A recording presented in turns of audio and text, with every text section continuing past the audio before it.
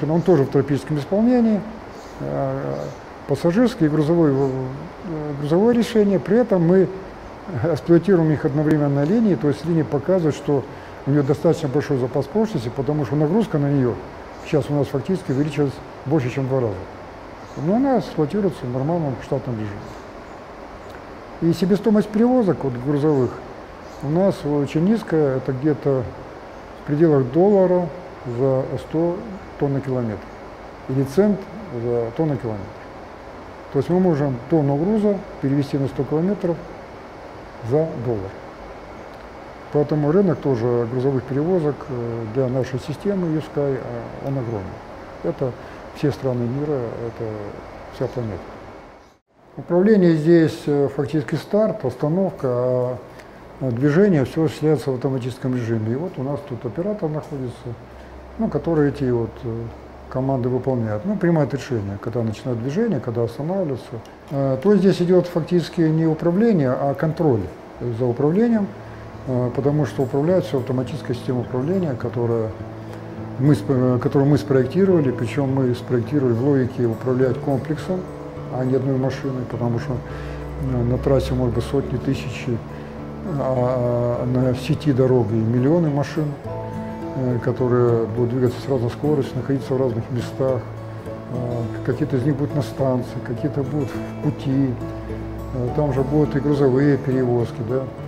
И вот это вот все э, должно обслуживаться, естественно, с диспетчерских пунктов, где э, люди должны контролировать, операторы, как это все функционирует, но все будет работать в автоматическом режиме. И только в случае каких-то форс-мажорных обстоятельств, какие-то ЧП и так далее, э, человек включается и принимает решение, чтобы ну, этого избежать. И это тоже наша большая заслуга, потому что, ну, наверное, впервые разработали вот автоматическую систему управления для комплекса. А до этого обычно есть система управления машины, допустим, вот, электромобиль Тесла. Там и то она еще не доведет до конца. А, система управления управляет только одной машиной. Он не управляет соседними машинами, следующими машинами, не управляет там гаражами, заправками, дорогой, перекрестками, там, переездами и так далее, что происходит у нас. И достаточно решения простые. Видите, дисперская тоже у нас небольшая, но она может обслуживать весь комплекс, который, все комплексы, которые мы здесь строим в ШЖ. Все трассы, все станции, все, все машины. Расскажите подробнее о других объектах, находящихся на этапе строительства. А, если взять линию 2, она вот здесь вот идет, а, то а, завершен монтаж 46 промежуточных опор, они арочного типа – и строительные работы э, на первой анкерной опоре. Э, заложен фундамент и э, нижний уровень бетонных стен на второй анкерной опоре. Ведутся иные, иные строительные и инженерные работы. Окончание этих работ запланировано на осень 2022 года. Если взять линию 4, то мы стоим вот фактически под ней. А, здесь также завершен монтаж 8 промежуточных опор, они видны. А, строительные работы, инженерные сети на обеих анкерных опорах, вот на это и дальний. Началась подготовка к монтажу струнно-рельсовой путевой структуры. Мы видим здесь леса, потому что здесь и на монтаж будет идти и над дорогой э, асфальтной, и поэтому, естественно, мы должны монтировать так, чтобы не мешать э, движению. Э, завершается монтажные работы первого этапа. Это сборка анкерных узлов на анкерных опорах – Ведутся подготовительные работы по подключению источника питания. И окончание всех работ э, мы также запланировали на осень 2022 года. Ну и к тому же мы планируем э, в этом году, уже в конце года, ввести эту линию в эксплуатацию. И одновременно с этим на нашем производстве в Минске, в Белоруссии, разработана и изготовлена новая модель городской пассажирской модели, это ЮПОД. Она, эта машина вместимостью 25 пассажиров, она именно будет здесь эксплуатироваться на этой линии, и, которая будет развивать скорость до 150 км в час. И линия э, позволит э, развить такую скорость. И таким образом, в целом можно сказать, что все работы, которые мы планировали, э, движутся по графику, несмотря на все трудности и проблемы, с которыми нам приходится сталкиваться сейчас ввиду особой геополитической ситуации в мире. Вы рассказали о новой модели городского транспорта, над которой работала ваша белорусская команда. Какие еще работы ведутся сейчас в вашем головном офисе в Минске? Э, в Минске, в первую очередь, э, сейчас идет активная работа в рамках Так, друзья, всех приветствую. Да, вот специально остановил на этой ноте видео Анатолия Эдуардовича, где он сказал, да, это, это видео, кстати, уже, э, уже ушло, вернее, не видео, а события, которые происходят сейчас именно в Шарже, они ушли намного дальше, да, намного дальше. Но все равно, вот, и знаете, вот именно последняя вот часть, прям, прям буквально там 10 секунд поставлю еще раз, внимательно вот послушайте, и я заодно с вами тоже послушаю, что сказал Анатолий Ладович. Опор, они видны. А, строительные работы, инженерные сети на обеих анкерных опорах, вот на это и дальний. Началась подготовка к монтажу струнно-рельсовой путевой структуры. Мы видим здесь леса, потому что здесь на монтаж будет идти и над дорогой, Э, асфальтно, и поэтому, естественно, мы должны монтировать так, чтобы не мешать э, движению. Это как раз ответ на тот вопрос, который задавали э, очень много, я в чатах смотрю, партнеры задают вопрос, а что за леса, для чего леса? Леса построены специально, чтобы не препятствовать движению автомобилей по магистрали, которая проходит внизу. Завершаются монтажные работы первого этапа. Это сборка анкерных узлов на анкерных опорах. Ведутся подготовительные работы по подключению источника питания. И окончание всех работ э, мы также запланировали на осень 2022 года. Ну и к тому же мы планируем э, в этом году, уже в конце года. То есть окончание всех работ на осень 22 года. Но смотрите, сколько Анатолий Леонидович между строк еще сказал всевозможных вещей. Подключение электричества и еще, и еще, и еще. Коллеги, я вот прям, знаете, рекомендую пересматривать, э, пересматривать э, именно видео, пересматривать, прослушивать. И э, там как раз есть те моменты, которые ну, вот, освещают именно события, которые происходят в нашей компании. Вижу очень много дебатов всевозможных в чатах. Не всегда присутствую в чатах, но если есть время, иногда заглядываю, смотрю, чем живет э, сообщество, как двигается, потому что все, знаете, наши а, члены правления и а, представители членов правления и все руководства, и те, кто руководит отделами, они, конечно, очень а, серьезно так заняты и целеустремленно, знаете, так работают. Ну, я сам по себе вот сейчас вижу, в связи с тем, что я сейчас а, а, возглавляю вот именно этот отдел, да, и столкнулся, и открылись э, там определенные информационные составляющие, их настолько много, их нужно изучать, ими нужно владеть, и я очень рад, что мои знаете, мои именно вот, знаете, когда я говорил на вебинарах, что моя чуйка меня не подводит, что-то мне кажется, я говорил, что что-то грядет. Так что все у нас, друзья, в, в этом плане чуйка меня не подвела, потому что в связи с тем, что сейчас я окунулся очень серьезно именно в отдел вот э, э, Владислав Волков меня зовут, кто, кто будет смотреть впервые. Э, я сейчас на сегодняшний день руковожу именно этим направлением. Вот. Но сегодня я не очень много буду говорить о струнных транспортных систем, потому что которые и на Земле, и готовятся в космос уже. Да, мы, в принципе, на, в нашей миссии и в нашей философии прописана и та глубина и та составляющая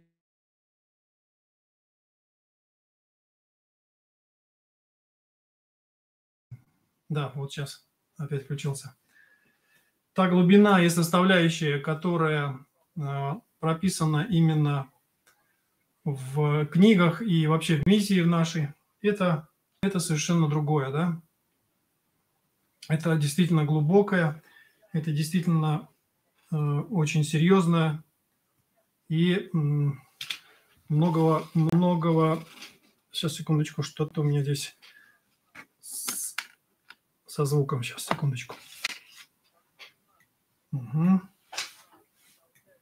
Так, вот сейчас, как у нас, как со звуком? Вроде есть, да, у нас? Так, хорошо, идем дальше. Вроде есть. Так, идем дальше. Значит, меня зовут Владислав Волков. Я на сегодняшний день возглавляю вот отдел адресных проектов. Я о нем еще раз вкратце скажу. Да? Вкратце скажу. Сегодня наш, наш вебинар посвящен именно технологии, а, которую мы с вами, те, кто уже бывалые, те, кто уже давно в проекте, а, именно технологию Unitsky String Technology. Мы сейчас, мы на сегодняшний день так называемся, мы сделали, произвели э, ребрендинг, и ребрендинг этот э, именно направлен на правильный выход, корректный выход именно на мировой уровень. Это очень важно. Это очень важно. Анатолий Дадович неоднократно об этом говорил, и, соответственно, мы шагаем именно по тем шагам, которые прописал Анатолий Дадович и проговаривает. Не только прописал, но и проговаривает. Про эту технологию очень много сейчас, что и кто вещает, говорят об этом очень много. Есть очень много скептиков, есть очень много людей, которые ну, просто не доверяют, просто не, а, не видят в этом будущего. А есть люди, и я общаюсь вот в связи с тем, что я сейчас уже сталкиваюсь именно с теми людьми, которые пишут мне на, на официальную почту с запросами, с всевозможными вопросами, и очень много технических вопросов, естественно, очень много состыковок с отделом э, Unitsky String Technologies, именно со специалистами, потому что нужно корректно уже отвечать о, о, о именно пассажире потоке, о всевозможных э, э, технических моментах. Там очень-очень много всевозможных э, вопросов, но это, это, это и радует – знаете, когда вот э, человек, который заинтересован в том или ином регионе, он не задает вопросы, это говорит о том, что, ну, значит, э, у человека не глубокая э, заинтересованность, либо, либо поверхностная, либо он просто зашел как гость, знаете, только поинтересоваться. Поэтому еще раз, вот Владислав Волков, Технический университет – Технический университет я закончил. По специальности я инженер-механик.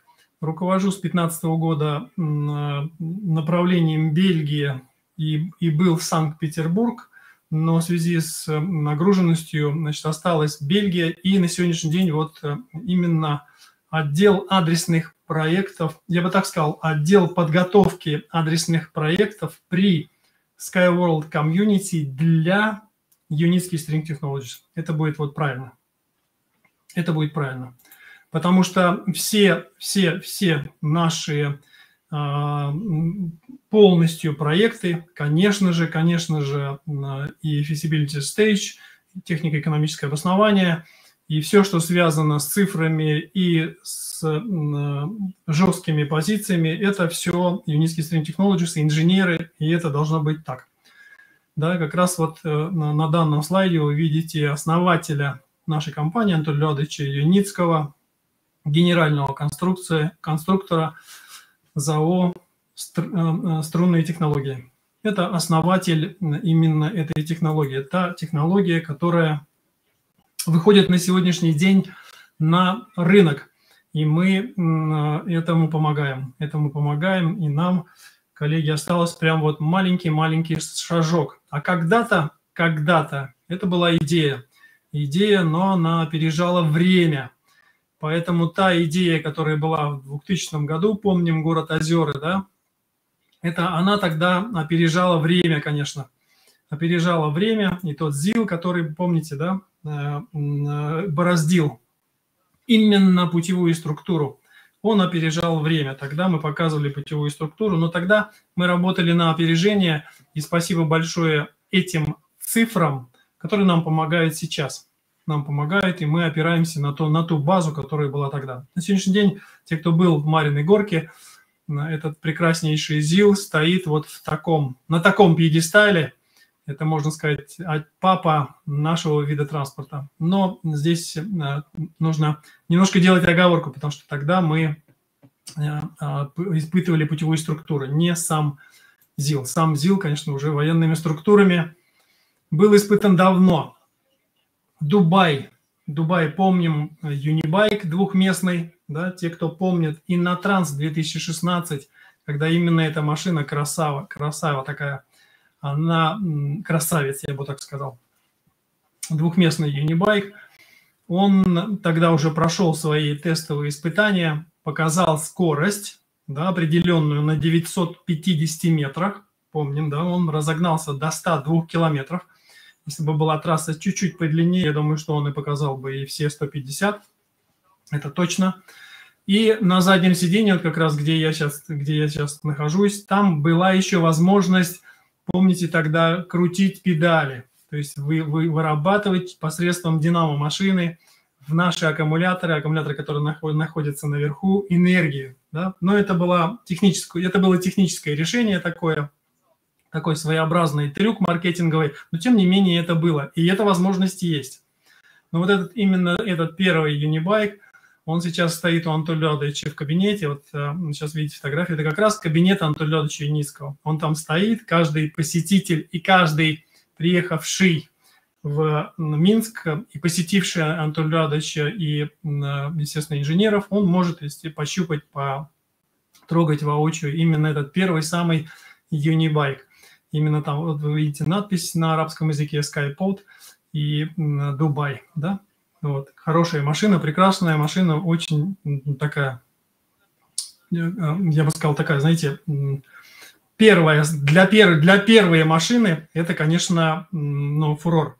Естественно, вторая машина, вот вы видите, VIP, VIP-машина, которая сейчас бороздит просторы а, арабского мира, я имею в виду трассу в Шарже, да, естественно, не переставая с, с, со станции на станцию перевози, перевози, перевозит наших партнеров, клиентов и всевозможных посетителей. Кстати, а, очень хорошо себя показала машина в этих климатических условиях, 78 градусов и без поломок. Я спрашивал Олега Зарецкого, а, Олег Зарецкий Гео, как раз именно компания, которая отвечает на, в Арабских Эмиратах, да, и вы знаете, он ведет именно направление, все, что связано с тем миром. Он сказал, что эта машина показала себя очень, ну, просто на высоте. Просто на высоте все агрегаты сработали четко. Вот все это время машина не стоит нон-стопом каждый день. То есть каждый день она работает и вот по этой трассе Э, передвигается. И, в общем-то, мы на сегодняшний день точно можем сказать, что это, эта техника в, в тех суровых условиях климатических, она достойно выдержала. Сейчас, кстати, у меня как раз я веду как раз переписку с человеком, который задает вопросы именно по э, вот э, климатическим условиям, которые жесткие. Я имею в виду жестокие такие, и, и мороз, и песок, и ну, все вместе взятое там. Машина, если внутри посмотреть, снаружи она кажется очень красивая, такая футуристическая, но внутри она очень напичканная, напичканная достойно в, в плане каком? Инженерно продуманная, я вот так скажу. То есть ничего лишнего нет, все на своих местах, четко, чтобы были доступности для инженерного состава, технического состава. И машина, в общем-то, вот в разрезе, она, ну, если, если вот показывать именно тем, кому это интересно и кому это нужно – то машина, в общем-то, э, такая серьезная, очень серьезная машина. И вот э, что старое, снова новое, да, это э, пройдусь просто по этим фотографиям. Вот эта фотография мне очень нравится, и я все это время искал информацию, где это именно находится и откуда эта фотография. Знаете, было очень сложно найти, но тем не менее я нашел – это строительство Транссибирской магистрали. 1800-900 год.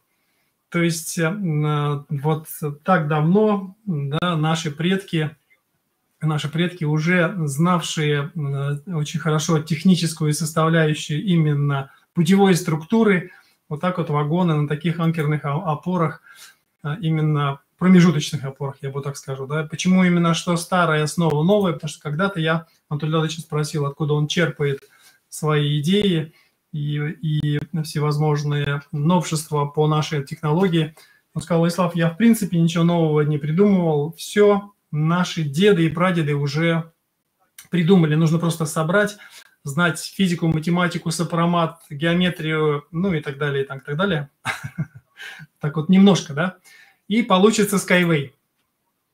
Поэтому те кадры, и та, если поискать в литературе, конечно, уже очень много и подвесных монорельсовых дорог Романовых под, под Петербургом, да, где действующая действительно модель была э, братом царя тогда, он ее пролоббировал. Правда, она потребляла очень много электроэнергии, но тем не менее 15 миль в э, день у них планировалось строительство, и скорость довольно-таки большая была. Это, это, это, это, этот, этот прототип рабочий.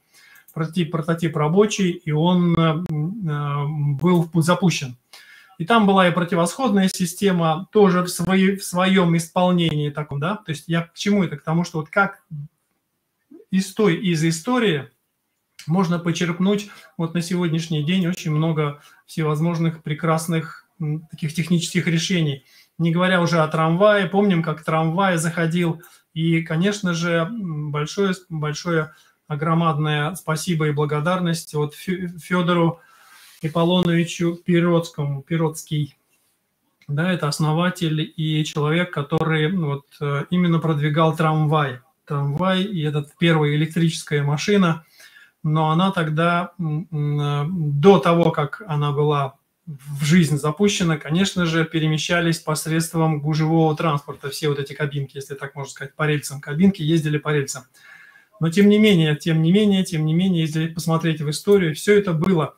Все это было, электрические модели. Вот видите, инженер Романов в России, 1900 год, первый автобусный парк из пяти электроавтобусов. Я тогда еще нашел информацию, что проезд на этом электроавтобусе был, стоимость была 5, 5 рублей. А, по-моему, что-то такое, если я не ошибаюсь. Но меня тогда поразило вот эта составляющая. Я в то время нашел информацию о том, сколько получал обычный крестьянин в деревне. Он получал 3 рубля. А проезд на этом транспорте был, стоил 5 рублей. Поэтому не каждый мог себе позволить проехать на такой но, но инновационной Э, техники, но тем не менее это было. Это было в течение, э, по-моему, 7 или 8 месяцев существовал в Москве вот такой парк автобусов. Он автоб... действительно автобусный парк существовал, ездил, передвигался, двигался, но потом все это сошло на нет, потому что все-таки ну, должно быть, э, должно быть поддержка, должна была быть в то время что-то еще, не знаю почему, но, в общем, это дальше не пошло. Но, тем не менее, инженерная мысль а, не, тогда она не останавливалась, и сейчас она тоже не останавливается, и мы очень много, колосс, колоссальные все, всевозможные решения можем на сегодняшний день найти в интернете. Всевозможные машинки, велосипеды, EZ-10, вот этот микроавтобус в Германии, который э, пробует ездить самостоятельно 360 э, градусов зрения, плюс машина Аптера, которая питается электро электроэнергией посредством солнечных лучей, впитывая через кожу, если вот так можно сказать, через фюзеляж свой, да. Кстати, хорошее очень решение.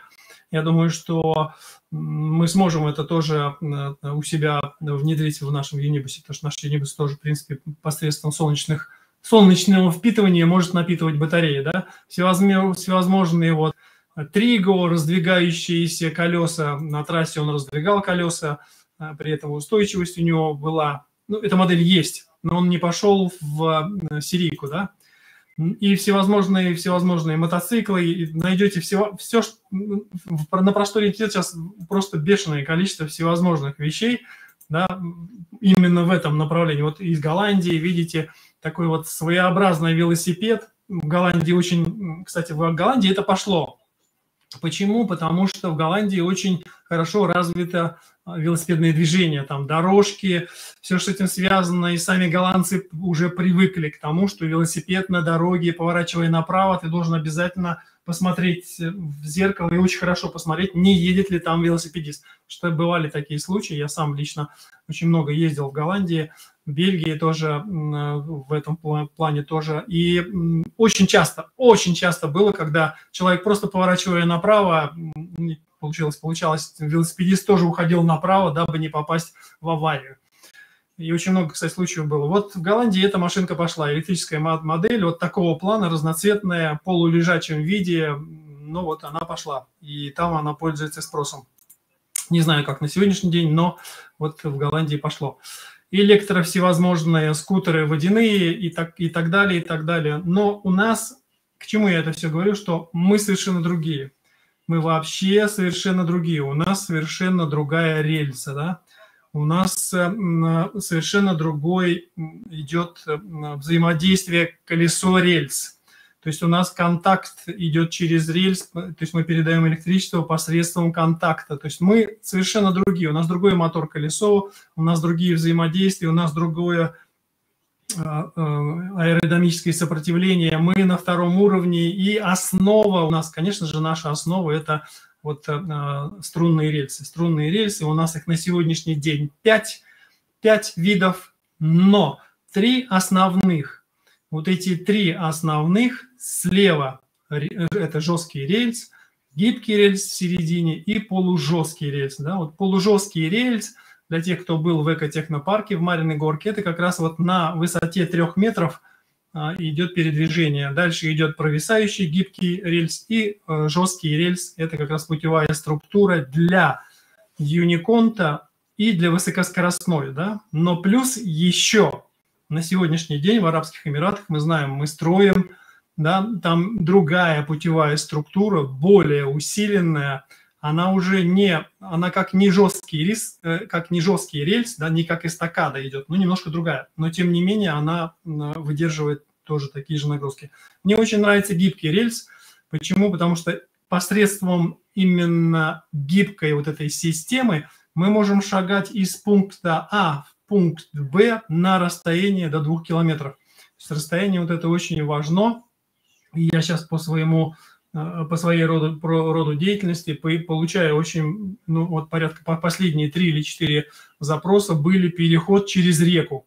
Возможно ли осуществить переход через реку вот посредством нашего вида транспорта? Да, возможно, то есть там расстояние небольшое, в основном 800, 900, 500, 600, до, до километра. Есть для нас вообще просто потрясающе. То есть ну, самое такое оптимальное, хорошее расстояние. В принципе, мы можем и 2 километра, шагнуть. Но здесь, еще в этом гибком рельсе, мне больше всего он нравится, потому что здесь мы можем, мы используем вот, э, закон притяжения Земли. Здесь мы вообще, в принципе, от слова совсем, можем не использовать электричество, имея небольшое количество в аккумуляторах для старта.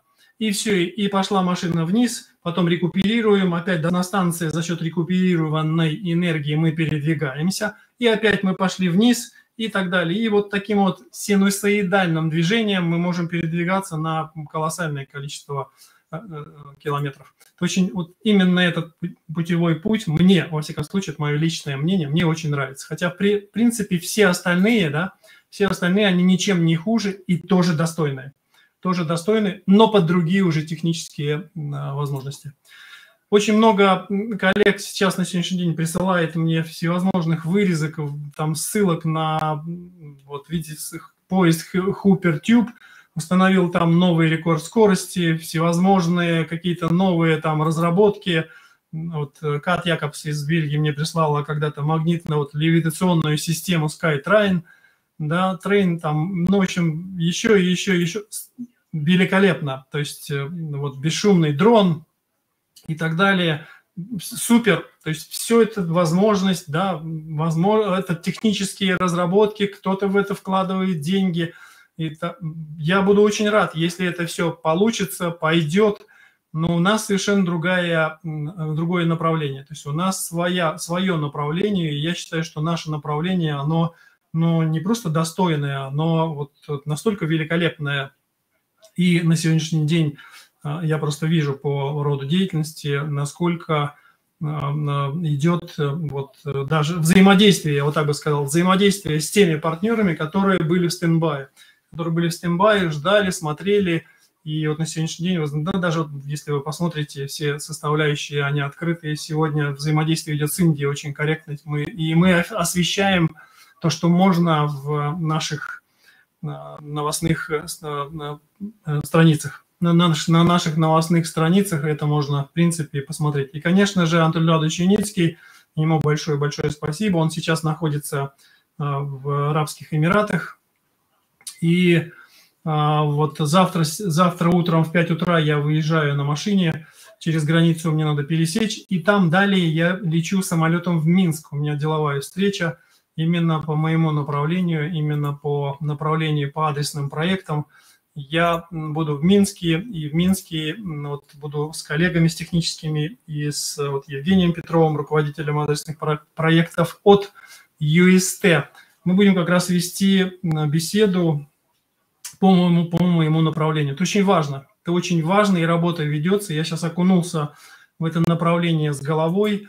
И, друзья, коллеги, да, вот кто еще не знает, кто будет смотреть, да, я просто всех э, прошу, э, значит, э, контактировать со мной именно в плане, если у вас где-то есть наработки, если вы уже когда-то начинали, если вы с кем-то контактировали, да, я сейчас не буду проходить по слайдам и еще раз проговаривать то, что я проговаривал на прошлой на прошлом вебинаре именно по, по, по этой презентации. Я просто ее буду листать и в то же время говорить, да. Вот, и, значит, прошу всех э, писать, я сейчас дойду до того слайда и акцентирую. Здесь есть цель отдела, задача отдела, для чего именно был, был создан этот отдел. Этот отдел был создан в помощь нашей компании головной для того, чтобы обработать и подготовить подготовить именно, я бы так сказал, лид, да, или вот э, составляющую. Потому что я вам честно скажу, э, что на сегодняшний день э, вот из тех, кто тех, кто обращается ко мне с тем или иным запросом, после переписки небольшой, потом высылается им определенный на такой лист из составляющих приблизительно плюс-минус 20 вопросов, и все, человек пропадает. Да, вот, э, э, вот как-то вот так.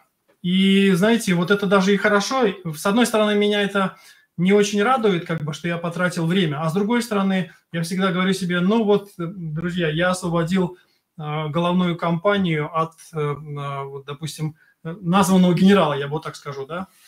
Что очень много людей просто, знаете, вот пишут, начинают вот сейчас скажу это слово, да, там дол, дол, долбить, писать еще раз, еще, еще, еще, потом пропадает. Проходит, получается, ну, человек затратил неделю, что-то там поотвечал, ну, есть такое. И, вы знаете, у меня очень э, хороший опыт в этом плане уже, как не нужно делать. И я уже научился считывать даже в первом письме, первом письме я уже считываю настрой человека и его компетентность. Это сказывается вот прям сразу. Я вам честно скажу, вот прям сразу на первых двух взаимоотношениях я сразу могу сказать, что вот человек э, по-деловому настроен, и у него есть а, действительно что-то, или нет, вот человек просто узнает для того, что, а может получится, а может не получится. Так вот рождается цель, но на этом я не останавливаюсь, а вот э, остановлюсь на том, что вот, посмотрите, необходимо написать на e-mail. Вы, Волков, дальше идет skyway.capital, да, пишите мне с определенным, ну, небольшой текст напишите, дальше мы будем уже коммуницировать. Я дальше задам вопросы, либо уже лист опросник будет высылаться по ходу. Но в большинстве случаев, в большинстве случаев я выхожу после первой, второй переписки, я выхожу уже с человеком в Zoom. Независимо от языка, независимо от страны, независимо от государства, это, это не влияет никак. То есть выходим с ним на э, контакт и уже непосредственно разговариваем. Сразу говорю вам, что еще плюс мы помогаем и нам, всем. То есть и мне как партнеру, и вам как партнеру. То есть мы убыстряем процесс. Потому что все-таки юнитские вот String Technologies, они вот, знаете, как зависали вот в этих вот моментах, то есть был такой, как пробуксовка у них, потому что, ну, нельзя не обработать запросы, правильно? Запрос пришел, его нужно обработать, а вот в 50% это пустушка. Не всегда. Иногда бывает так, что партнер просто уходит в стендбай для того, чтобы набраться, ну, не знаю, там, терпения, чего-то еще, информационного, вот этого, напитаться информацией про наш проект, проверить нас, это тоже очень много, очень часто, уходят просто в сторону для того, чтобы проверить нас на составляющую, на компетентность. И когда уже они понимают, что да, все в порядке и действительно так есть, они возвращаются обратно. Поэтому я и говорю, что очень важно, очень важно на первых шагах делать правильные э, уделять правильным моментам на первых шагах, я вот так скажу. Это очень важно, да? И, значит, э, э, здесь немаловажный такой фактор еще играет временная позиция. То есть, э, потому что вот уходит много времени на выяснение. Вот даже приведу, приведу вам пример. Не буду называть страны, не буду называть там имена. Просто приведу пример, когда мы с человеком вот сейчас переписываемся уже но, наверное, дней, э, ну, неделю так точно. Неделю мы точно мы выясняем, и вот сейчас на, на седьмой день выяснилось все-таки, что он имел в виду, и что он подразумевал под вот этой трассой, вот здесь вот так, а вот здесь вот здесь, и что он имел в виду под туда-обратно, и заворачиваем направо, обязательно нужно везде, в, на каждой остановке завернуть направо, что он имел, ну, в общем, целая, целая такая вот работа плодотворная по выявлению, по знаю, подсказкам, что ли, что нет, давайте не так, а лучше вот так сделать, потому что у нас вот так работает наш вид транспорта, и для вас это будет лучше. То есть вот пока это все связывается, пока это все комплектуется, и когда мы все это упаковали, и все, мы понимаем, что да, эта трасса готова, она полностью зацик... зацикленная, она 67 километров, она здесь делает 30 остановок, на каждых остановках нужно вот это, вот это и вот это и вот это сделать. Здесь мы все поняли, мы определились с именно путевой структурой, мы определились с заказчиком, все. Вот в этот момент все, наша задача закончилась, мы колоссальное количество сэкономили у головной компании, но тем не менее мы сделали, а, я бы сказал, скажу так, мы сделали такую, знаете, ну, грандиознейшую работу. Мы перемололи, как мельница, вот, ну, оставили только самые зернышки, самые хорошие пшеничные колоски, вот так скажу, что или зернышки, для того, чтобы из этой муки сделать хороший-хороший а, а, кулич. Вот. Вот именно для этого был сделан а, отдел именно а, при СВЦ для помощи UST, то есть отдел занимается подготовкой. Поэтому вот я показывал вам, коллеги, еще раз покажу.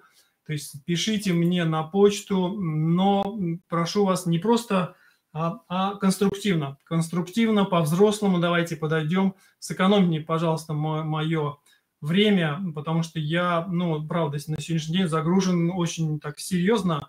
И даже вот выделив сейчас, завтра я в 5 утра встаю, еду через границу, потом вылетаю в Минск. Я выделил для этого время. И вот по ходу, потому что плотный, плотный уже график, там уже в Минске уже на сегодняшний день присутствуют коллеги из э, трех городов, и они уже ждут, и у нас завтра очень серьезная встреча вот в, в Uniski Steering Technologies с, с техническим специалистом. Я к тому, что очень все четко и разбито, поэтому я буду, конечно же, просматривать почту и если, если я к тому, чтобы письма писались именно а, четко и по делу, хорошо? И сразу проговорю тоже такие моменты, друзья, коллеги и партнеры, пожалуйста, не пишите мне по поводу технических поддержек, по поводу всевозможных моментов технических, которые решает наша техническая поддержка, правда. Я, вот, я не решаю эти вопросы, я все равно их переправляю в техническую нашу поддержку. Вы это можете сделать сами. Сейчас техническая, на сегодняшний день техническая поддержка у нас работает очень четко. Я знаю, что если они берут партнера, они его доводят до конечного результата. Любой конечный результат, но он должен быть до конца. То есть не так, что И, и сейчас мы перешли так, что если вас принял один специалист, этот же специалист как бы должен и довести вас до конца. Либо уже передать с ответственностью. Поэтому и просьба не писать мне вот по техническим вопросам. Я ну, просто их технически не решаю, а все равно передаю э, в технический отдел, но для меня это куча времени. То есть первые, когда было объявлено, что я руковожу этим отделом, ну, очень большое количество было писем, которые были направлены, ну, не в ту сторону. И мне, я не мог их э, не проигнорировать и не ответить на них, и не переслать, но это заняло у меня очень большое количество времени. Хорошо? Вот, еще раз вот здесь в левой стороне посмотрите v.волков, да, собачка skyway.capital. Это мой рабочий e-mail. Вот, а, значит, вот здесь вот я про, про, про, про пропустил. Те пишут, в YouTube у нас идет. Добрый вечер, добрый вечер, добрый вечер. Добрый вечер, Таисия. Добрый вечер, Хенрих. Добрый вечер, Александр Вагнер. И здесь у нас тоже Манухов Герман, привет. Приветствую всех, приветствую всех, всех, всех. Вот, коллеги, поэтому в этом направлении работаем, да, и очень плотно, правда. И новости, вот, знаете, вот а, в чатах вот очень, очень хочется, видите, как, какая энергия была, аж, этот, аж лампа упала в чатах, в чатах очень хочется поприсутствовать, почитать там все и так далее, да, но вот сейчас не хватает времени, но тем не менее я все равно захожу и очень много вижу, когда партнеры там начинают дискутировать что-то и так далее, и вот находится один человек, начинает, хотя он, в принципе, прекрасно знает, что у нас все хорошо, что в этих, ну, в колоссальных тяжелых условиях мы все-таки идем стабильно, выруливаем, обруливаем всевозможные камни, очень аккуратно идем – настолько аккуратно идем, чтобы ни в коем случае не хрустнула под ногой веточка, потому что это очень важно сейчас в этих, в этих вот, э, ну, санкци... сан... условиях санкции, условиях там всевозможных непоставок и так, но тем не менее Антон Ильич делает все, и команда работает, вот просто мы идем вперед, идем к нашей цели. Я как инвестор, я тоже, кстати, заинтересован, но не меньше, чем вы. Но когда я читаю, когда там люди пишут, что а вот это у нас ничего не получится, потому что да, где-то что-то нашли. С чего вы взяли? Откуда человек взял эту информацию? Ну, где-то там что-то ему показалось, потому что где-то там что-то, ну, поразительно просто. И я думаю, ну, что, ну, неужели люди не видят по информационной составляющей, насколько четко мы идем к нашей цели и насколько правильно мы шагаем? Да, мы не быстро. Как мы можем в сегодняшних условиях убыстриться, если вся матрица и все, все, что вокруг нас, сворачивается и перестраивается, перетрансформируется. Вы посмотрите, что происходит. Но тем не менее мы четко идем, да еще и при этом подписываем МОУ и всевозможные контракты на, на те вещи, к которым мы должны, к которым мы стремимся. И это работает. Почему не, не почему вот все задают вопрос, Влад, можешь нам сказать, ну хоть чуть-чуть там в краешком уха, там, конечно, нет, не могу, потому что э, подписанная Индия и так далее. Но тем не менее, если вы посмотрите, если вы увидите и немножко хоть логически подумаете и посмотрите, вот даже да возьмем, хорошо, давайте возьмем Индию. Но посмотрите, когда-то у нас был э, э, был такой момент, когда почему-то тот министр, который был транспорта, обратил внимание на желтую прессу. Хотя, логически, если подумать, да, технология была, технология существует, и технология показала ему, они все приезжали и все видели, но почему-то, по каким-то причинам, тогда ему показалось, что жел, желтая пресса все-таки раскопала. Не наш человек был, потому что его, его сразу пространство удалило. На сегодняшний день пришел другой человек, поднялась обратно вся документация, посмотрели, и все, все началось.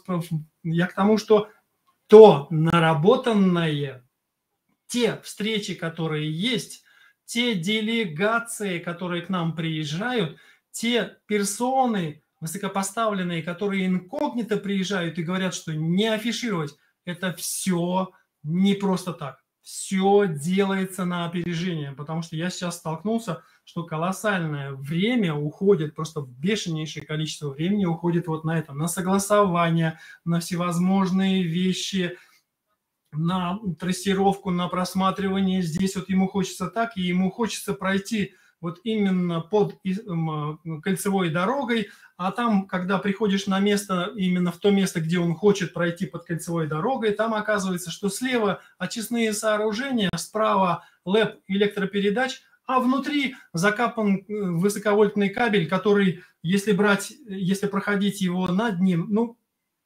понимаете, о чем речь? И это все согласовать надо – а трассировку, именно трассу, даже если партнер выбрал именно эту трассу, и он по этой трассе идет и начинает двигаться, там же идет согласование с жителями этой трассы. Это хорошо, когда трасса пустая. И это хорошо, когда новые поселения, как, допустим, взять Москва, Петербург и так далее, где-то в новом, за кольцевую туда уходят, новые города строятся, и там еще земли пустые. Это хорошо. А если уже есть какие-то построения, частные дома или еще дачные кооперативы или еще что-то рядышком, а если еще деревья растут, которые записаны в Красную книгу, или озеро, или еще... Это же надо все вместе, вот это все. Представляете, какая колоссальнейшая работа.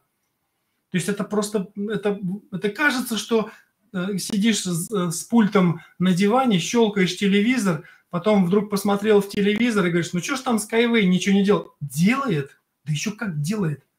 Я сейчас столкнулся с такими вещами и понял, что когда Анатолий Дадович говорит, что не нужно ничего говорить, нельзя об этом говорить, нужно, скажем, тогда вот, вот сейчас в ближайшее время будет очень хорошая новость. Ждем. И будет к Новому году еще какие-то. А та новость, о которой говорил Анатолий Дадович про, э, э, про проекты, это что, не новость? Ну, конечно, новость. А все раскрыть, раскрыть скобки и показать нельзя.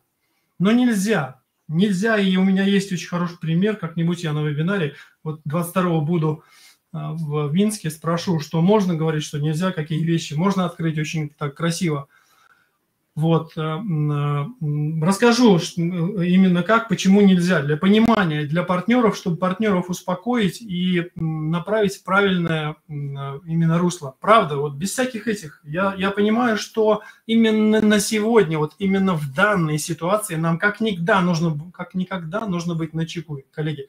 Вот правда, без всякого, по-взрослому и без, э, без шуток уже. Вот просто шутить нам уже ну, нельзя, и ошибок нам вообще нельзя делать. Вот правда нельзя делать. Я, например, вот э, ни, ни один МОУ, ни одно соглашение ни с каким партнером я ни, ни в коем случае вот не подписываю и даже не, не, не отсылаю на подпись, прежде чем юрист не проработает. Потому что обязательно кто-то что-то туда, что-то запрячет и обязательно где-нибудь что-нибудь захочет вот э, поиметь с нашей компанией, при этом не сделав, не выполнив обязательства, но при этом вставит обязательно какую-нибудь там шестую или седьмую позицию, которую мы должны выполнить в том случае, если ничего не получится. Но это не работает так, друзья. Это так не работает, потому что должны быть ответственности у каждой страны, и у той, и у той. Но это работа. Я к тому, что вот э, много очень таких э, скрытых за спиной моментов, о которых, конечно, конечно, партнеры, э, может быть, догадываются, но просто их упускают. А работа, конечно, колоссальная. А не говоря уже о Арабских Эмиратах. Вспомните э, э, прекраснейший нас фильм, да, когда говорили, что Восток – дело тонкое, Петруха. Вот. Друзья, вот как бы вот так. Сегодня такой философский у нас получился вебинар, но тем не менее пожелайте мне удачи в, поле, в полете до э, нашего прекрасного города Минска, да, и там э, нам нужно пожелать очень хороших э, переговоров с коллегами. И посещение, мы посетим экотехнопарк, а там далее мне придется остаться там в экотехнопарке, потому что на следующий день конференция будет, ежегодная конференция именно с космосом связанная и я останусь на эти полдня специально, чтобы посетить эту конференцию, еще раз повстречаться со специалистами, еще раз переговорить с техническим отделом, еще раз переговорить с инженерами, еще раз переговорить с э, высокопоставленными лицами нашей компании во всех моментах, подкрепиться, знаете, как это, взять вот этой энергии еще для будущих событий. И вечером в 19.00 мы возвращаемся обратно. Вот такой тур друзья, у нас будет, и он очень важный для всех нас. Поэтому, друзья, работаем в нашем направлении, работаем очень хорошо и работаем на опережение. На опережение не, не стоим даже в этих тяжелейших условиях, таких серьезнейших, мы идем вперед, работаем, работаем. Я знаю точно, что как только начинаешь двигаться в этом направлении, пространство подстраивает, подстраивает все события для того, чтобы это получилось. Но, здесь одно но. Э, э, э, намеренность должна быть благая. То есть с благими намеренностями и с нашей светлой технологией мы точно это сделаем. Я знаю это точно. Все, друзья, на сегодня все. Буду готовиться к завтрашнему утреннему выезду, поэтому всех вам благ, хорошего вечера и до следующих вебинаров. Все, пока-пока.